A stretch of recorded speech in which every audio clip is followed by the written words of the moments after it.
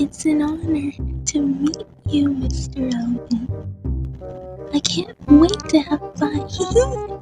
Dang, she's cute. I don't want to slap this ass. Hey, uh, Bluebell, let's say, uh, why don't we go to that faraway place at, uh, lunch? Anything as long as I get to hang out with you, Elvin. I think it's neat you asked me out to lunch. So, what'll it be? Thing one and thing two? Ha ha ha. Oh, I'll no, have the okay. Warlish Morphin Huckler. I'll have the, um, De La Mure. Do you even know what that is? Something yummy? Here are your meals. Enjoy. Um, Oh, What's wrong, Bluebell? I've never seen something like this. oh my. Uh,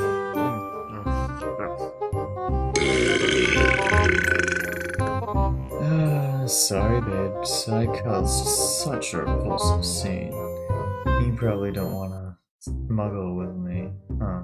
Being repulsive is a true act of respect on my planet. Girl, what? E- yes, much kindness and good luck from one who has done an act of yuck. you have shown me much kindness, respect, and good luck. You are so sweet, Elvin. I'll, uh, be right back.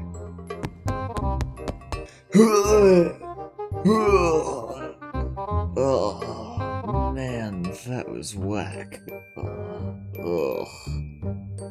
He doesn't look okay. He looks dead. Is he dead? What's that blue goofy ass on him? Elvin, are you dead? Yes, I'm dead. Oh no, she killed him. Enough. Idiots. Okay, so. I can't do it. She's. slime. I didn't want to hurt her feels, so I took her to lunch so I'd gross her out, but that somehow made it worse. You gotta help me, Reena. Why don't you just tell her? Um. Here you are. Hey, Bluebell. I thought you ran to never see me again, but I was wrong. Hey, listen. We're but two different species from two different worlds. We're just too different. Oh, that's okay. Thanks, anyways. Bluebell! We thought you were gone forever. I told you all she'd be okay. Yolk, it feels like forever since I've seen you. You came all this way Because that's what friends do.